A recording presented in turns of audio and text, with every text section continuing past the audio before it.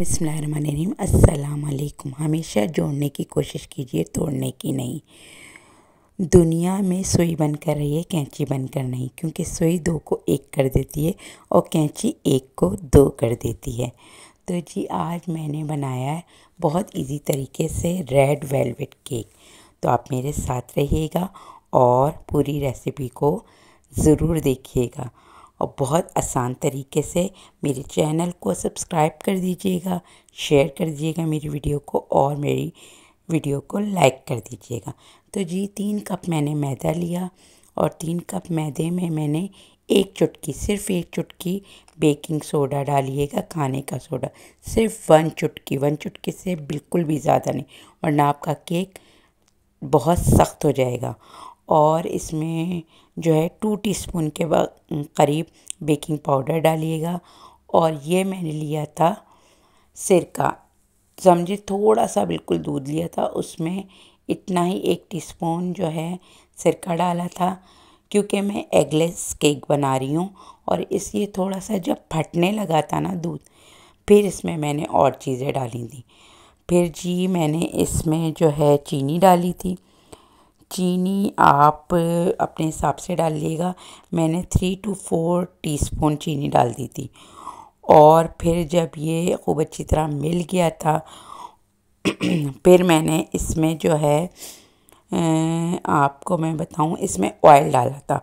Oil भी मैंने दो से ढाई टीस्पून डाला था और इसको मिला लिया था। फिर मैंने रेड कलर डाला था इसमें और रेड कलर डाल के इसको मिला लिया था।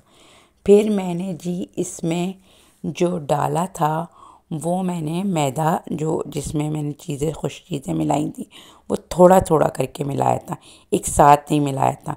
फिर मैंने इसमें कोको पाउडर डाला था, कोको पाउडर भी मैंने टू से थ्री टेब टेबल स्पून डाल दिया था और इसको खूब अच्छी तरह मिला लिया था। और फिर इससे सादा सा बिल्कुल केक बनने को पतीले में रखा था और मेरा ये बहुत अच्छा सॉफ्ट सा केक बन गया था। और फिर मैंने जो है मक्खन लिया था। मक्खन मैंने एक दरमियानी टिक्किया ली थी और उसमें मैंने कम से कम एक कप चीनी डाली थी। और फिर मैंने ये समझे तो एक कप ऐसे हुई थी पिसके, वरना आधी कप चीनी थी ये। और क्रीम को एक एक से डेढ़ पैकेट क्रीम लिया था और उसको खूब अच्छी तरह बीट करके, जब मेरा बटर और चीनी बीट हो गया था, उसमें डाल के इसे बिल्कुल फ्लफ़ी कर ली थी। बहुत ही ज़बरदस्त किस्म की मेरी क्रीम बन गई थी। और फिर जब ये मेरा केक बन गया था, इस पर मैंने शुगर सिरप जो है खूब अच्छी तरह से शुगर सिरप से इसे कोट किया था क्योंकि ये सॉफ्ट रहे फिर अंदर से और ज़्यादा। और जो क्रीम मैंने बना के उसको फ्रीज़र में रख दी थी चिल करने के लिए। जब अच्छी तरह चिल हो गई थी मेरी क्रीम तो फिर मैंने इसे आराम से केक पे लगाया था। अच्छा मेरे पास बहुत केक वाली जो चीज़ें नहीं थी, मैंने इजीली तरीके से बिल्कुल घर में बनाया था। जब मेरी नीचे की लेयरिंग हो गई थी, फिर मैंने ऊपर से दूसरा केक रखा था, दूसरा केक की लेयर लगाई थी और फिर उस पर भी खूब अच्छी तरह से क्रीम लगा ली थी। और मैंने तमाम तमाम पूरे केक पे खूब अच्छी तरह से क्रीम को कोट कर लिया था। और मेरी ये कोडिंग बहुत अच्छी तरीके से हो गई थी, बहुत ज़बरदस्त। और फिर मैंने थोड़ा सा केक, जो सिंपल केक था ना, उसका थोड़ा सा चूरा कर लिया था और उसको जो है डेकोरेशन के तौर पर मैंने डाला था। इसमें बहुत ज़्यादा मैंने चीज़ें नहीं डाली थी और बहुत ही आराम से एक एक बन गया था। आप ज़रूर बनाइएगा और बहुत ही मज़े का। लेकिन मैं दोबारा यही कहूँगी कि बेकिंग सोडा जो है, यानी खाने का सोडा, सिर्फ़ पिंच ऑफ़ चुटकी डालिएगा, बिल्कुल भी उसे ज़्यादा नहीं किएगा। वरना आपके केक की जो मेहनत है ना सारी, वो रायगा जाएगी। और आप की जो मेहनत ज़ाहिर आप कर रहे हैं तो जब कोई मेहनत करता है तो वो चाहता है कि मेरा अच्छा रिज़ल्ट मिले।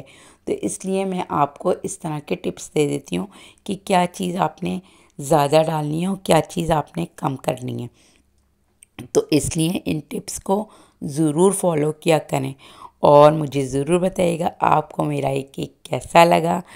आप लोग जो हैं, अपना बहुत ज़्यादा ख्याल रखिएगा और मुझे भी दुआओं में रखिए, याद रखिएगा और ये रेसिपी ज़रूर ज़रूर बनाइएगा और मुझे ज़रूर कमेंट्स में फ़ीडबैक दिएगा कि आपको मेरी ये रेसिपी कैसी लगी और उम्मीद, मुझे उम्मीद है कि आपको मेरी रेसिपी अच्छी लगेगी।